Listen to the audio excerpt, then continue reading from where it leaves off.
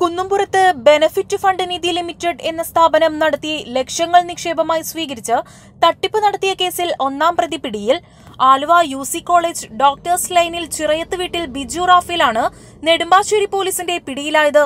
നിക്ഷേപ കാലാവധി പൂർത്തിയായിട്ടും പണം തിരികെ നൽകാതെ തട്ടിപ്പ് നടത്തുകയായിരുന്നു. ദേശം സ്വദേശി ജയശ്രീ എന്നയാൾക്ക് പതിനഞ്ചര ലക്ഷം രൂപ കൊടുക്കാനുണ്ട്.